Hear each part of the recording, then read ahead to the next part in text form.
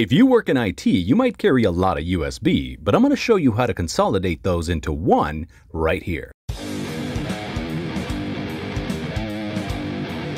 So let's get started. First, we're going to go to ventoy.net. Here on the main page, you're going to head over to downloads. Once you're in the downloads page, there are several options to choose from.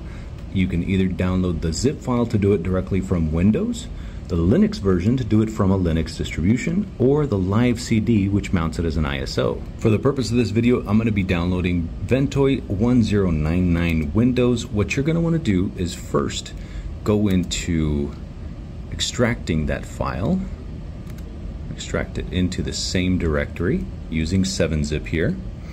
Once that's done, you'll get a new folder. Go into that new folder, you'll see the Ventoy folder, and then go ahead and run Ventoy to disk.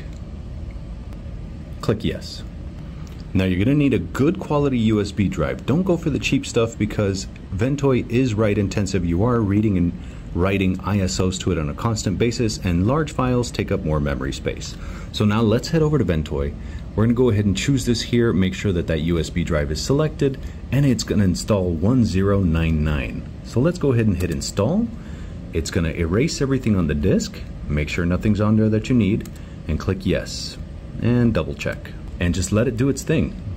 It's actually rather fast at this process, so once it's finished, your USB drive is going to be divided into two partitions, the EFI partition for booting, and then the D drive, which is what you're going to actually put your ISO files in.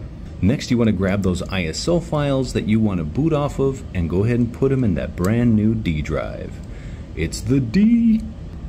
Now it goes without saying, the larger the drive the better because you can fit more ISOs in there and have less drives to work with. So get a good dependable drive and don't forget to follow me right here for more content like this. Now if you're completely done with USB drives and you want to set up something on the network to image your workstations, in the next video I'll be covering iVentoy, a PXE imaging server you can set up on one of your workstations and have your workstations boot off of PXE to grab the Ventoy options. Follow right there